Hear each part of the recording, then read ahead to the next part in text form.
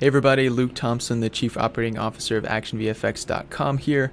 Uh, really excited about today's episode. Today I'm joined with our founder and CEO, Rodolphe Pierre Louis, otherwise known as Ro. What's up, Ro? Hey, how's it going, man? Good. Super excited about today's episode. Uh, yeah, like this podcast has been something we've wanted to get up and running for quite a while. Um, so it's actually happening. It's for real this time. Yeah, it's been my lifelong dream of being a guest on an Action VFX podcast. So thank you for having me and inviting me. This is a true honor. I'm so excited to yeah, just talk about all the behind the scenes details and the scoops you can the get scoops, anywhere else. The inside scoops. Yeah. Uh, this platform is going to be, you know, serving a lot of purposes, uh, but one of those is we, you know, our team is actually going to be able to dig into a lot of other uh, industry related topics. We're going to have a wide number of guests that I'm really excited about. Um, but also, we're going to be able to dig in deeper and share some more stories about Action VFX, about company history. That's what we'll get into more today. Um, but without this platform, we wouldn't be able to do that anywhere else. You know, it's like who's who's asking us about all of these crazy war stories uh, that we have of production. So, really excited about today's episode. So let's do it. So the format of this show uh, is really going to be centered around uh, one question each episode. Um, so they're not going to be, you know, super long, drawn out, kind of just hanging out conversations. They're going to be very focused um, on specific topics. You know, maybe it's about a certain technology, um, industry topic, whatever. So today, with our guest Rodolphe Pierre Louis, aka Ro, the founder and CEO of Action VFX, the question for him is going to be why Action VFX. So, Ro, why Action VFX? I feel like this definitely would be a very long question to answer. There is a lot to go there. But if I were to summarize everything, I would say the biggest reason for Action VFX is at the time we were launching, I truly believed that was what the industry needed at mm-hmm. the time because you know visual effects stock footage was nothing new but the way it was being done I really felt we could do that not just better, but the way we could deliver the assets to our audience could really make their lives a lot easier. So at the end of the day, if I just yeah, one sentence I would say action VFX because that's what the industry needed. So kind of pulling out of that Ro, um, can you kind of explain a little a little bit build up? I know we've explained it quite a bit in the past, um, but as far as like the company pre-action VFX. I know mm-hmm. we talk a lot about like our Kickstarter period, you know, crowdfunding and how exciting all of that was, and we will touch on that a little bit. But really, paint us a picture of what that was looking like mm-hmm. beforehand. Like, did you just wake up one day after you saw the same crappy explosions, and you're like, you know, forget this, I'm I'm on it. Um, how, what did that look like? Yeah, it's like my journey to getting to Action VFX really started a lot longer than most people realized. I think it was around 2007, and I would have been uh, 14, 14 at the time, 14, 15, when, you know, like I really attempted to make my very first uh, VFX Elements pack. I remember I went to Walmart, I bought some red balloons, bought wow. some corn syrup and food coloring, and bought like a white white foam board, and I thought, hey, you know, I'm going to start making bloodstock footage because you know I've always been very entrepreneurial in that sense, and ever since being introduced to visual effects, the idea of you know compositing real assets, you know, it's always been mind blowing. So in mm-hmm. 2007, that's when I had my first attempt as a 14, 15 year old trying this thing out, and obviously it didn't work because yeah, like it, it was it was a big uh, failure in that sense, but not really because I got to you know flex those muscles a bit and mm-hmm. experiment with that. You know, when you know the journey that I am now, I would say officially started would be in 2011. I remember one summer the software HitFilm had just been released, and I felt that was a great opportunity to be someone that like the first person to do tutorials for HitFilm because obviously After Effects there were already millions of After mm-hmm. Effects tutorials out there, and I felt okay. Let's do HitFilm. You know, this thing is brand new. Let me spend the time and learn it and, and actually create content. So I started doing that, and I had a YouTube channel called Rodipolis. And it, yeah, I was the first official third party person creating HitFilm tutorials and started growing the audience from there. Mm-hmm. And eventually, Rodipolis, the YouTube channel, became rodipolis.com, where it was sort of like a blog slash um, training channel at first. But of course, the entrepreneur in me felt, hey, okay, there is an audience there and they are following all the visual effects stuff. What can we sell? you yeah. know, what, yeah, what, yeah. what could I, what need could I fill with this platform and this audience that I had? So in 2011, I think it was in November 2011, I released the very first stock footage, you know, VFX Elements pack, which was called Shootout Stock Pack. And it was all digitally created. And so yeah, that's that's literally the first product that went out. It was selling for fifteen dollars for the whole pack when it was released.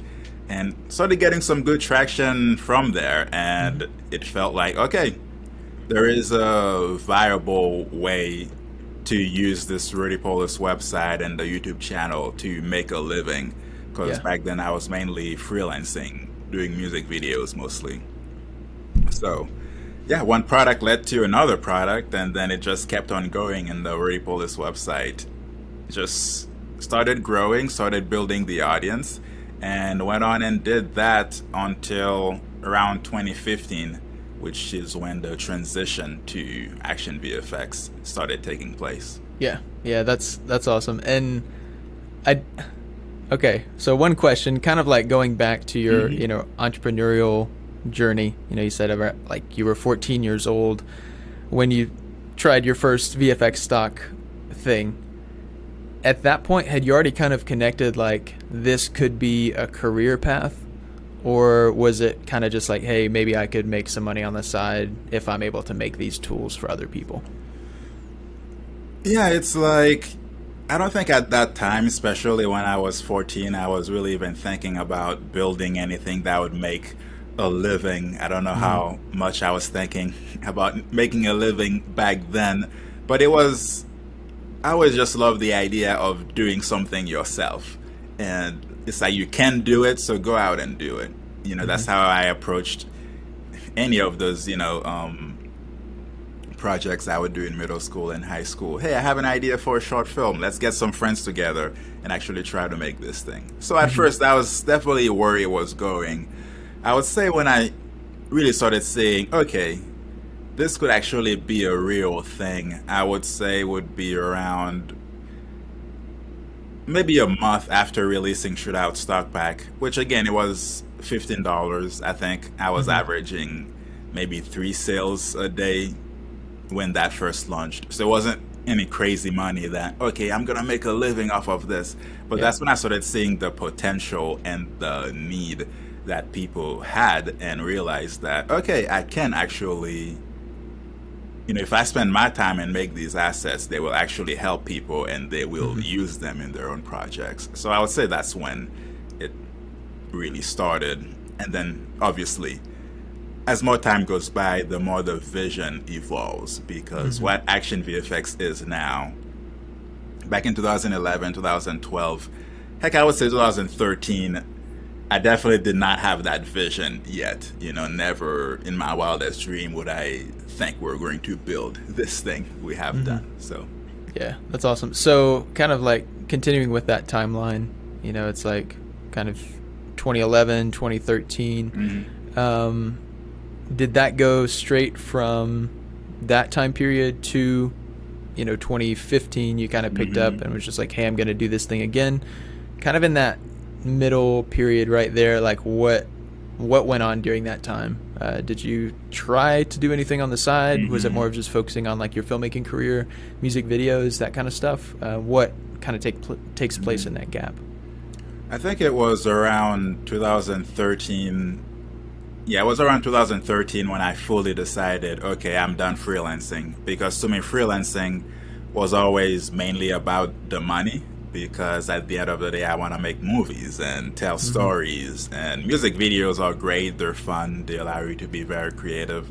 I did a few commercials too, that was always fun. But at the end of the day, as soon as I didn't need that money anymore, I kind of dropped those and decided, okay, I'm going to focus on Rodipolis.com and the plan is going to be to keep growing the audience, keep making great content, and also keep making great products.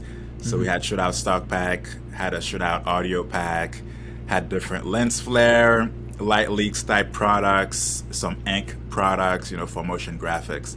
So that was kind of the the vision. In the back of my mind, of course, explosions and fire and all of these exciting stuff. That was always there because that was the next step mm-hmm. right? Because you know anybody, well, most people can do a a light leak.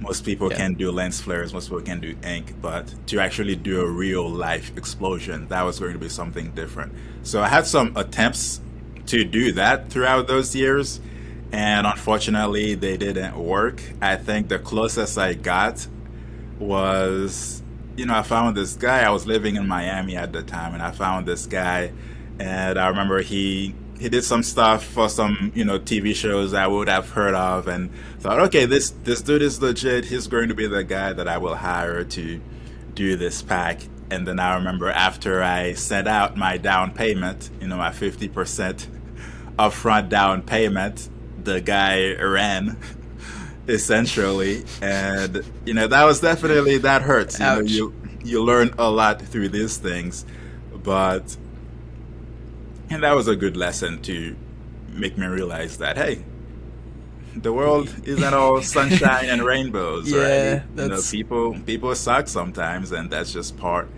of it so i never got uh, my money back and that was around the time when i moved from was transitioning from moving in Florida to moving to Tennessee where I am now. So Yeah. So I was like, okay, you know what? Lessons learned. Let's let's just keep moving forward because yeah, it will work out eventually.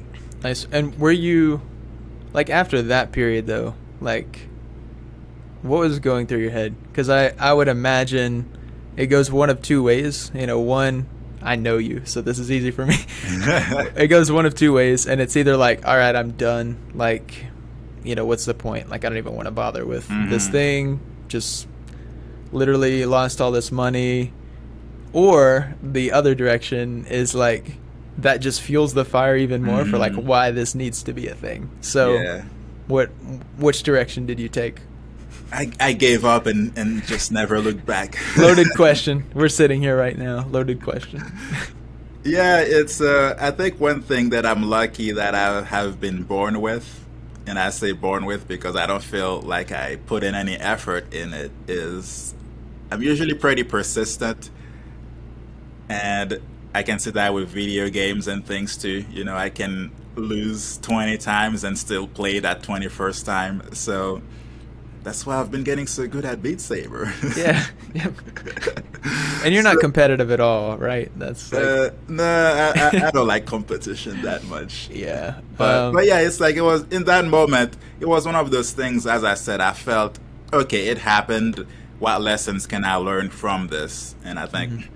the one of the biggest uh, business lessons which we've, we've talked about that I got from this is you'll never be so desperate to make something happen that you're not looking for any red flags because there are definitely red flags that I could have Mm-hmm. seen if I wasn't so oh like this thing needs to happen we need explosions and things so but in the end you learn from it and you move on and I would say a couple of years went by before you know started working on action VFX I mean well it wasn't even action VFX yet a couple of years Yeah. went by before I attempted to do another explosion shoot but like I knew it was always going to happen because it seemed like the next progression of where Mm-hmm. Rodipolis was. Yeah, and that kind of, you know, again, we're just like working our way down this timeline at this point. So, moving over, going into 2015, um, that was about the time that uh, Ro and I met. So there was a local After Effects meetup group um, happening in our small town of East Tennessee, Mhm. and not having a big, you know, like a VFX community at the time, like it's it's grown a lot over the past five or six years that you know Ro and I have been working together. Um, but that was like mainly you know motion graphics focused mm-hmm. people, but it was still like, hey, an After Effects user group. This is a gold mine because there are no like-minded people when it comes to this program. You know, mm-hmm. most people just look at it and are like, ah, this is too complicated. Like, I want to do something else. Um, so it was really cool to kind of see this event pop up that was, you know, community led, community driven, and it also facilitated like our introduction. Mm-hmm. Uh, so I think I'll always hold that really high. Um, and even when that comes to other meetups that we have, you know, in the area or in the industry, um, I can never like emphasize enough the importance of knowing people, you know, making a good first impression, mm-hmm. um, and being known for like high quality standards. Like that's just it speaks for yeah. itself. Um, and everyone listening already knows those things, but I think it's good to be reminded. And so Ro and I got connected at this uh, meetup and I don't know what a couple months, maybe a couple months went by. We really didn't get to talk too much there. Uh, there were mm-hmm. about eight, maybe definitely less than ten people there, so it was a pretty small group. Um, but we chatted just very briefly. You know, he kind of talked about some music video stuff uh, that he'd done. I had done freelance videography at the time, so it was like cool. You know, cool guy to know, stay in touch with. And then uh, we got connected on Facebook as things always happen. And he posts, "Hey, I'm looking for a behind the scenes videographer for this thing in Chicago." You know, kind of cryptic. I talked I talked to my wife. I'm like, "Hey, I don't know this guy." Um, but he opened up his van and says, "I have cameras." and I said to my wife, "I I I can't say no." You know, it's like this this it sounds. It's always funny how creepy it sounds, uh, um, but it's also funny how far reality is. Like it's not too far away. Like it, mm-hmm. it sounds creepy. It kind of was creepy. You're gonna film explosions in Chicago with a guy you've never met for a week. All right, like something, something sketchy may be going on here. So thankfully, uh, my employer at the time was very gracious to allow me, you know, that time off. Um, and my wife was very gracious. We've just gotten married to allow that time to uh, really grow and just work. And like, I do was, remember when I, when you said, "Hey, I need to ask my wife," and my first thought was, "Oh, he's gonna, he's gonna bail on it. there is no way." Someone who has a wife, like the wife is not gonna let him just just travel with a stranger. Yeah, you are like this eight, guy doesn't even know me. driving to Chicago to go blow things up. Yep. So it happened. She said yes. Uh, she was super cool about it. But also, like, I think it was important for me to to connect those dots with her as well. Of, you know, because even just talking with you, your vision so early on was so contagious for this thing you wanted to build, and it wasn't just, even really early on, it was kind of focused on being a pack or a set of clips mm-hmm. that evolved over into the website or the platform of what it is now but even like hearing you talk about really early conceptual stages of these are like the assets to end all assets which obviously progresses into what we have now of like our platform and just constantly pushing ourselves to be the best and be the most innovative um, in our industry for you know the products that we offer. Like that was extremely contagious. And so that week we went to chicago we filmed some stuff um, yeah, pick up there, bro. Like, how did that shoot go? What was the game plan coming out of that? Yeah, yeah. So, so it was August 2015.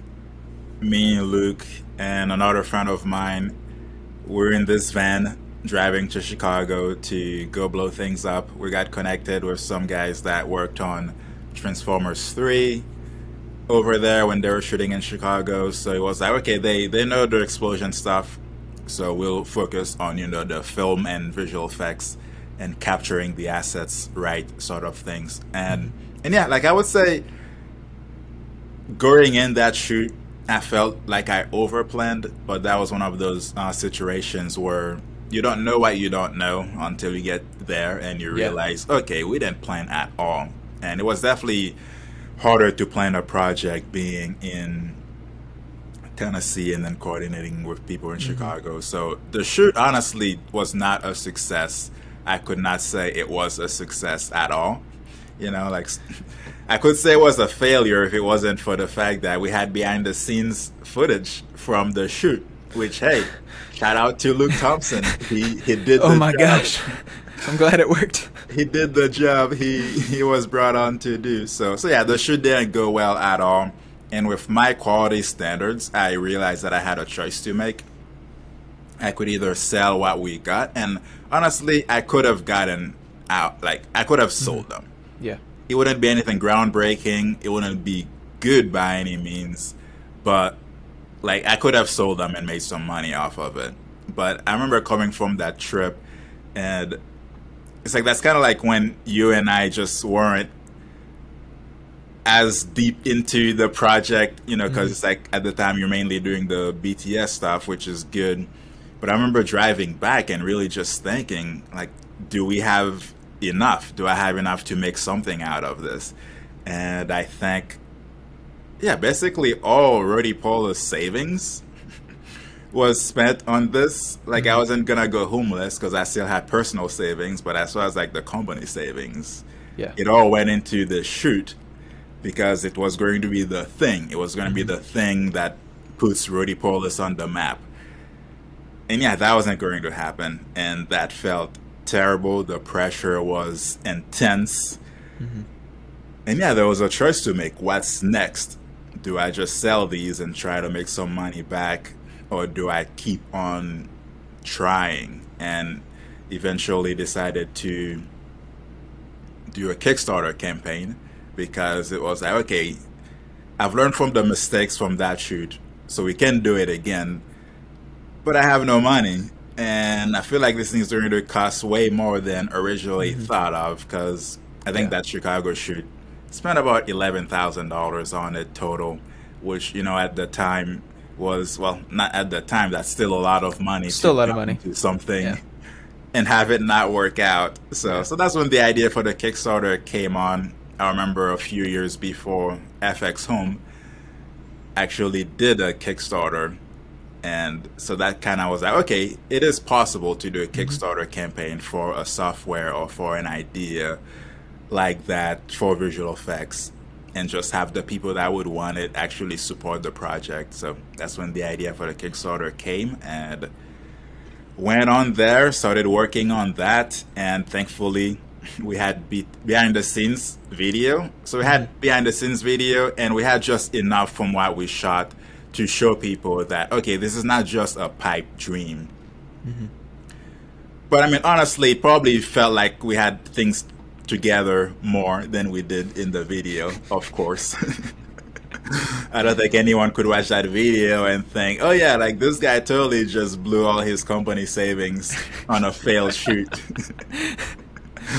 but but I, I believed in it, and we had mm-hmm. enough to really show people that hey, we are actually trying to do this, and we are listening to the users. We did you know the surveys to learn from professional VFX artists and amateur VFX artists, just anyone, what they actually want mm-hmm. in visual effects assets. So I think yeah. we're able to communicate that well in the video, and you know I think that's what made people feel okay we can trust these guys to deliver on this project that they're actually trying to do mm-hmm. yeah and I, I was always so impressed like when i first stepped in uh, you know more in like the project management type of uh, arena really just keeping stuff organized and mm-hmm. you know seeing hey how can we progress this um, I was always super impressed at like your level of organization at the time when it came to planning everything out. Uh, you know, you mentioned feeling like you'd overplanned when we went to that Chicago shoot. Mm-hmm. And yeah, I mean, I remember getting a binder uh, that said like, "Hey, this is the amount of stuff." And when I looked through on the way, of course, I was, I mean, you know, like a ten-hour drive each way. You got plenty of time to think, and we got to know each other super well. Yeah. But I remember thinking like, is this a real thing that we're actually going to be able to like get through this amount of stuff because there was just so many different effects. Mm-hmm. Um, and then, you know, kind of transitioning into the January shoot um, that we can go ahead and kind of discuss a little bit mm-hmm. too post Kickstarter. You know, we've been able to listen to all of of those user surveys, really craft a campaign um, around that. Really, yeah, just listening to what do people want mm-hmm. instead of telling them what they want. And then, oh man, that was such a good feeling. Extremely nervous. I know you were in a much stressful, a much more stressful uh, seat than I was for that. Um, I still had a, a full time real job, quote unquote, at the time. And just, you know, kind of working during the day, working with you at night, trying to build stuff, keep things moving. Um, it was yeah, like it was great, and it was really exciting, although you know extremely stressful. Mm-hmm. And then we finally completed the campaign. Uh, we raised fifty nine thousand in thirty days, uh, whereas our re- original goal was twenty k, um, which was just awesome to see. Like kind of blasting through that lid, seeing it's not just us. Mm-hmm. I think mm-hmm. that's the feeling that I got too of like because your vision was so contagious. It was like, man, I really hope that people are able to kind of like put their money where their mouth is when it comes to like we're wanting to build this but we can't do it without them. Yeah. Um, and so seeing 446 backers do that and come out and just say hey we're going to support this project um, and even like seeing the cool relationships that have come out of that uh, like i feel like i just have a lot of really good friends that originally backed our kickstarter and mm-hmm. then it's just progressed of like hey cool you do cool stuff hey, yeah, cool. It's always the craziest thing when, you know, like Chris from Crafty Apes, for example, when mm-hmm. I finally met him years later, and then he was talking, and it's like, yeah, back to your Kickstarter, and it's like, whoa, yeah, like it's always, you know, I keep meeting people that you wouldn't think would be backing the Kickstarter, yeah. working at this big companies at a higher level and it was yeah it's always really cool to hear that even from the beginning, people really just believed in mm-hmm. what we were trying to do. Yeah, and even uh, you know, like Allan McKay is another one of mm-hmm. our backers that just the nature of the work that he does, he doesn't even need 2D stock, and so like that just I think that escalates how much that means to me and like us as a company of. Yeah, it's one thing when someone can use this stuff, but it's mm-hmm. another one when it's like, man, I really appreciate that because yeah. again, they it, it, connected with them when it comes to what we're trying to build, what we're trying to do. Um, so extremely appreciative for those 446 users. Every time I see them, I tell them I love them. Yep. And if you're an Action VFX forum user and you backed our Kickstarter, be sure to DM me because we have a special badge Ooh. want to put on your profile picture just yep. to let everybody know that you're a real one. yeah, that you were. I was one of the 446. Yep. Nice. Cool. So kind of again pulling, you know, discuss Kickstarter a little bit, branching out of that Kickstarter. You know, we had 59k to blow, right? Mm. It's like the immense level of pressure and responsibility to those backers mm-hmm. coming out of that campaign. What's going through your mind at the time? How does that kind of transition into the big shoot mm-hmm. that we refer to of January 2016. Um, yeah, like what what were you thinking? In a good way. that sounded that sounded like what were you what were you thinking? Well, I was like, is it now? Is it time to run? No. Just like that pyrotechnics guy, I learned. Uh, Just that, that's the lesson I got from from that experience. You can run. No. Uh, no, it was. I mean, the pressure was intense. There was a lot. You know, there was so much that I could really unpack in a one-hour mm-hmm. podcast, right? Because one, there was the fact that this was, this was definitely the most amount of money I have ever had to handle at once. You yeah. know, at one time like being able to go to the bank account and it's actually $53,000. It's there. Mm-hmm. It is waiting to be used. So, of course, that was you know pressure as far as a entrepreneur like business standpoint, but also just the you know the Kickstarter when it succeeds and it ends and you're like, yes, you know, we raised it. I think maybe I had one night where I felt like a winner because you wake up the next morning and it's like, okay, now it's time to mm-hmm. deliver. To actually do and, it, yeah. Yeah, and you always hear me say about how much, you know, the Kickstarter I felt is the hardest thing I've ever done because it was the thing that took the most out of me. I have the stories of being paralyzed in my bed once, like I couldn't wake up just due to the stress and stuff. So it was essentially okay, that happens, and we won, we did the thing. Mm-hmm. And then right after that, okay, the products need to actually happen. So I think I had a good trip because I'm originally from Haiti. So I had a good trip back to Haiti, visited my parents, and yeah, that would have been the first time I went back to Haiti since I moved to the US since 2005. So that was literally like 10 years later. Mm-hmm. I think that trip really helped me not only get out of the environment to relax a bit and go back to my roots and put a lot of things in perspective because that definitely contributed a lot to me being able to come back and you know just hit the floor running yeah. Because I think I got back in the States January 2nd, 2016. And it was just, okay, this is all I'm doing until this thing is mm-hmm. successful. Mm-hmm. And the January shoot happened, which it definitely was a lot better than the Chicago shoot. We ended up doing it in Tennessee, so we had the guys from Chicago actually be the ones that came down to Tennessee this time, which mm-hmm. helped a ton because it's hard to go and drive and plan something. And yeah, that shoot I would say is the hardest action VFX shoot ever. One because pressure's on the line. You have to deliver on the products. Mm-hmm. You have 446 people expecting something, so that was huge. It was also we shot a lot outside, and it was so cold. Ah, uh, it was the coldest. Yeah, I, I, don't know that I've ever been that cold again. Um, I, I think the Honestly. the wind chill was right at zero degrees, and so anytime an explosion would go off, it's like ooh. yeah, you could feel oh, the warmth of the explosion yeah. for a brief second. Yeah, yeah. It that shoot was rough, and but nah, we pulled through. We had some hiccups, as all things happen, and I mean we don't need to really get too deep into that, but things happened well enough to where we could consider the January shoot to be a success. And then I think we ended up doing another shoot in March just to pick up some stuff that we weren't able to do in the January mm-hmm. shoot. And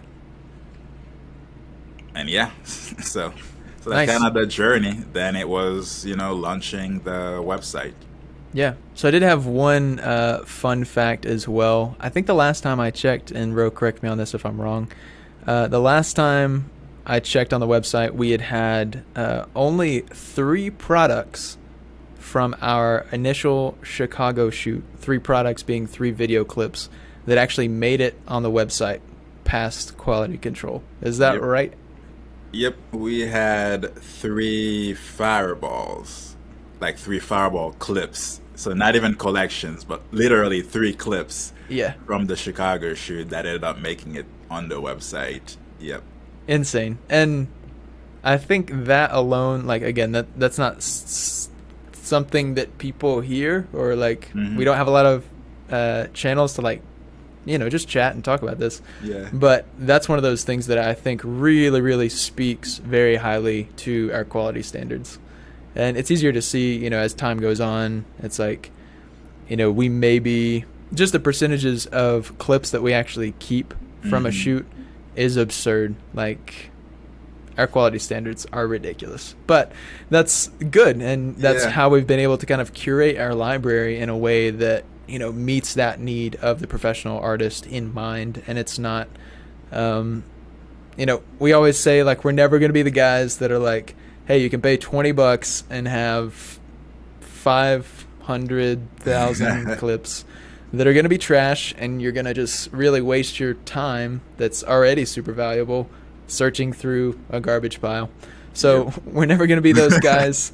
um, and it's always just emphasizing the quality over quantity, but at the same time being able to have variety in there, I mm-hmm. think is mm-hmm. really important, um, and just continues to speak to you know as we go.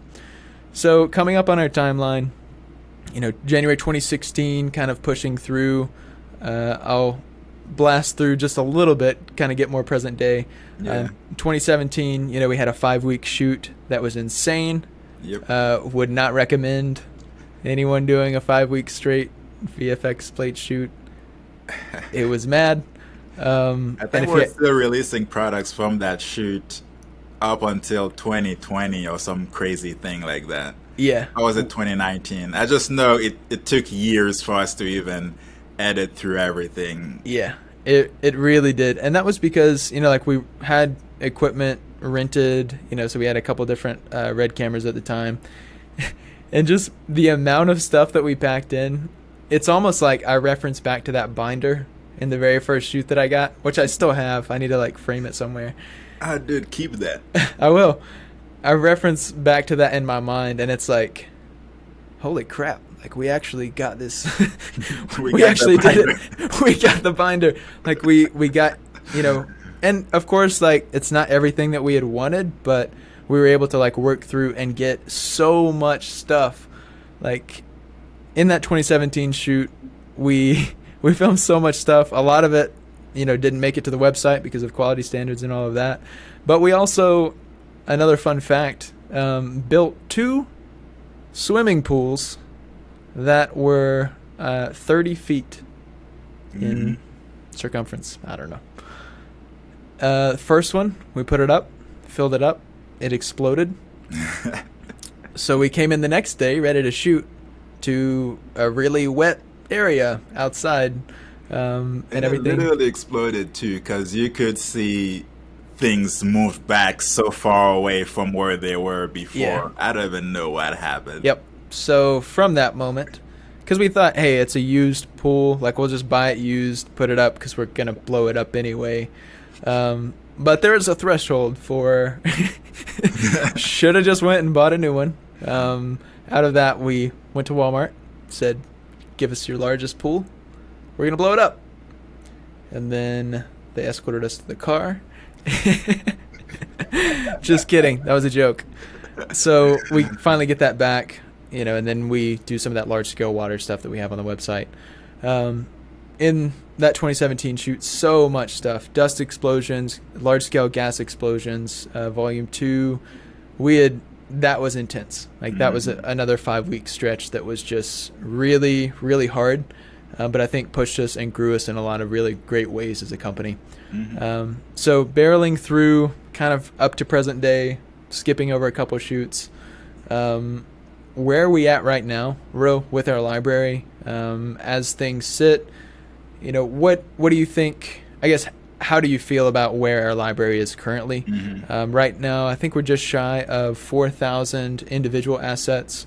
Um, somewhere no, we're, in that we're ballpark. over that now. Okay, crowd crowd effects yeah, yeah. blasted yeah, us we're over that. that now. Yeah, so I think yeah. we're almost I would say we're around the 4,500 mark. Okay. At, yeah. this moment, yeah. Because crowds was 660 clips in and of itself, so that was massive uh, and broke my numbers. So yeah, pushing up right in there. Where do you feel uh, about our library as far as mm-hmm. where it's at, where it's headed? Some of the new plans that we've had, uh, some of the new kind of like pricing structures and mm-hmm. things like that. Um, how do you how do you feel like where we're at versus where we're going? Yeah, like so it's like the you know plan you know the vision of action vfx from the beginning you know has always been to build the largest and best library of visual effects assets so that's always been the the goal you know and you know biggest as far as not just quantity over quality but mm-hmm. it's kind of like quality and quantity as far as having variation to things because the you know, another answer to why action VFX is we really didn't have that much variety in the industry. And, you know, people could easily recognize, oh, this is from, you know, this pack. Oh, this is from that pack. Oh, I've mm-hmm. seen that explosion. I've seen that muzzle flash many times. And, yeah. you know, a mindset for us has always, we want to have so much that we can essentially compete against ourselves. Mm-hmm. So you could use one, you know, clip from Gas Explosions Volume 1, which I think there's about 40 clips in that. But then we still have Gas Explosions Volume 2, and then we still have large scale gas explosions. So it's like these are all those different collections. So it's like right now at around 4,500, we'll have to check the exact number of assets that we have. I feel that we have accomplished a lot of our goals in the sense that we have built the foundation. Mm-hmm. You know, we action VFX, and this is me trying to not necessarily toot, you know, our own horn here, but many people do consider it to be the place to get visual effects assets if you mm-hmm. want something high quality, if you want something that will get the job done. So I feel like we've succeeded in establishing the foundation, and now we're at the point of okay, it's been five years. Well, well, we'll have our five year anniversary very soon, and it's kind of like how do we build on top of that foundation to take it to the next level? Mm-hmm. So obviously, plans that we have is one keep growing the quantity because as much of like as much elements that Action VFX has right now, we can't say we have everything. And it's like, and that that's even a crazy idea, right?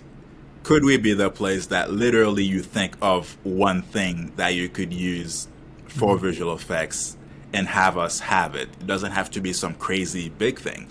For example, cigarette smoke. Hey, do you want lingering smoke from a cigarette? that will be something that we will get. You know, that's not something that's necessarily mind blowing, but we really do take it seriously to be that place that, hey, you're making a project, you will get what you need. So we're doing a lot of that. But then there's different types of assets. Obviously, our bread and butter right now is 2D elements. But what about 3D elements? That's something that could definitely, and that has been requested a ton mm-hmm. by our users. You know, can we use the same quality control that we already use to branch into something like that? So these are things that we are keeping in mind and working towards to make sure they happen. And then there's also just the fact that we want to serve the community as best as we can Mm-hmm. And this is kind of what goes through subscription, for example. You know, with subscriptions, we never want to get to a place where we're only a subscription company because there is a great freedom in the current system that we have now and you pick what you want you want just one clip you can literally mm-hmm. get just that but you know the subscription and why it made sense is because we can benefit a lot more people while not lowering what we stand for mm-hmm. through a subscription. So these are things that you know we're adding to the vision, we're evolving in that sense, but still keeping the core of what we actually want to do with Action VFX. Yeah. Yeah, and I think you know, even the subscription model too, like adding that on instead of like hey, we're doing this or that. Mm-hmm. As you said, I think continues to just provide more options for people, for artists, and you know, obviously, like the value is going to be there. So if you're a regular user anyway, like it's really going to incentivize you mm-hmm. and make sense. Um, you know, because yeah, there's just a lot to love about that. And I think that's only going to continue to lower the bar of entry for people. Um, as you said, without reducing you know, obviously we also have a good amount of overhead when it comes to like the size files that we transfer and all mm-hmm. of that. Like there's a lot of cost when it comes into developmentally and our infrastructure to support OpenEXR files uh, that are hundreds and hundreds of gigabytes for yep. a, a grouping of clips.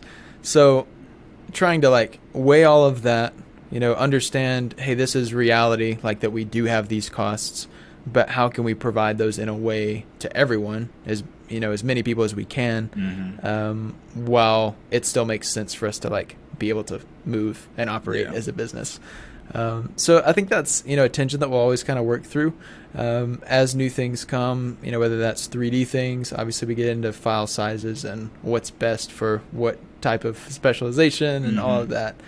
Um, but I've always appreciated that as a company as well for you know that's not just a you thing that's not just a me thing that's everyone here really shares that same mindset of the community how can we continue to give back whether that's like free products or anything that we uh, can do differently with products going forward mm-hmm. whether that's adjusting color spaces or any mm-hmm. you know like really technical stuff that could be shifted or slanted slightly and maybe it's more work on our end for post production but that's not something that we really mind. You know, it's like shout hey, out to Zach Van Hoy for being the technical guru at yes. the office.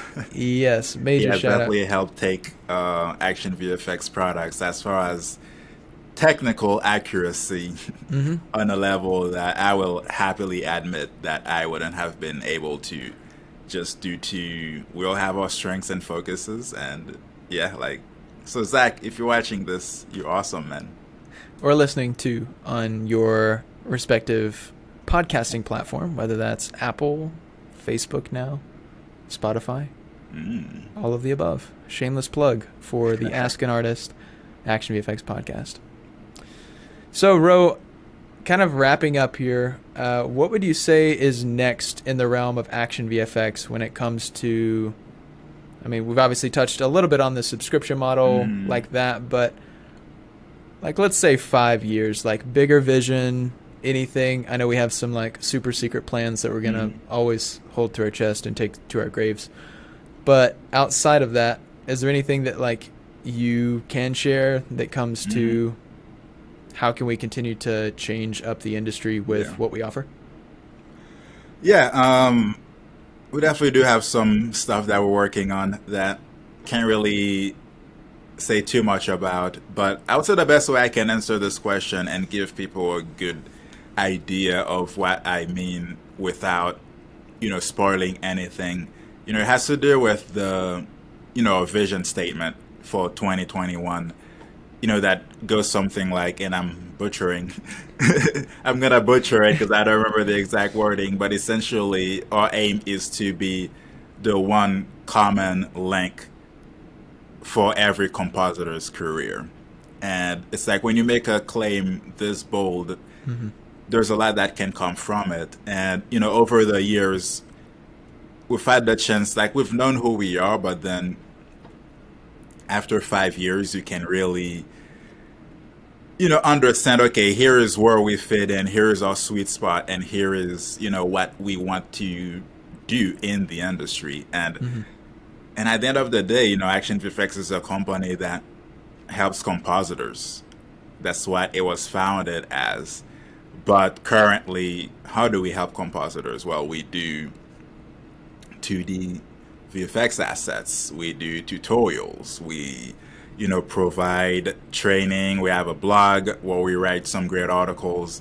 We have a forum now. You know, this is directly um, related through that vision mm-hmm. because you know when you have a forum and you have a community where users from all over the world whether you're just starting out or you just worked on the avengers you can come and communicate mm-hmm. it's like that's like forums and online communities for me that has been something that's so huge in yeah. my growth and career over the years and i just i am so thankful to be able to actually you know in turn provide that same type of community for our users Mm-hmm. So, so to summarize, I would say, yeah, we want to keep being that one common factor where every compositor, no matter what stage of your career that you're in, there will be something Action VFX is doing that is going to hopefully make your career better. That's going mm-hmm. to help you do something like make your life easier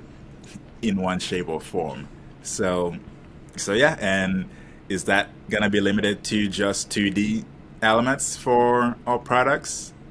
Of course not.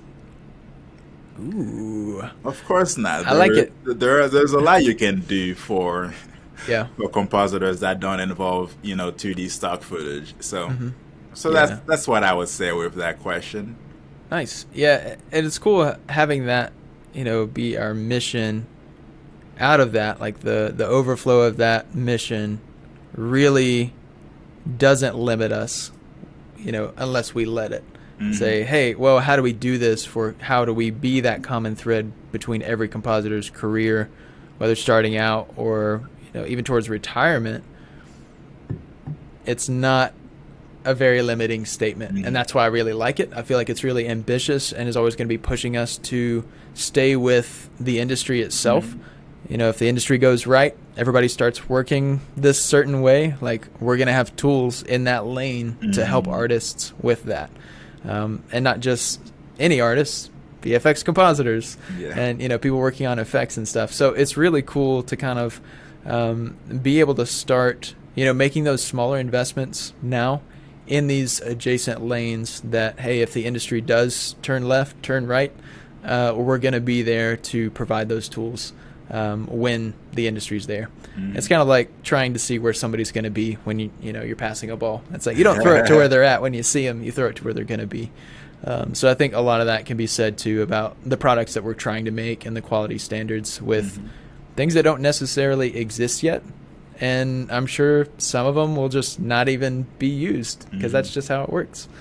Um, but all in all, like I think it's really exciting to see um, all of the different things we have going on, even the things we can't talk about, um, but a lot that we can, like the subscription, continuing to build our library. Um, there's a lot of really cool stuff happening here, and at the end of the day, like it's only going to benefit VFX artists and compositors and supervisors and um, everyone as a whole. So, at the end of the day, if we can save people time in their work, that's a win for us. Mm-hmm. Um, I remember uh, last year we had visited uh, Crafty Apes Atlanta location. I was speaking with one of the VFX supervisors, and man, he he says he sat down and he said, "Action VFX gets me home so I can see my family at night." And I said, "I'm done." like, that's it. Like that's that's the goal. And I think if our sights are set at anything less than that, mm-hmm. then I think we've missed the mark. Um, and yeah, all of that comes back to the time we put in. Uh, when we show up, we show up, and our team shows up. Um, and I can confidently say that you know we're going to make things the best that we can, the best that we know how, and then when we know better, we're going to do better. Mm-hmm. So that's that's the whole thing, uh, the whole drive behind everything at Action VFX and it's really cool and exciting to be a part of. So thank you for allowing me in your, uh, inviting me into your van that has cameras all the way back in 2015. Um, you know, with this five, six year mark of working together, um, yeah, I just get super nostalgic. So there's a lot of small uh, mm-hmm. memories, a lot of laughs packed in between. Um, but it's been a really exciting journey so far, uh, and really looking forward to the future.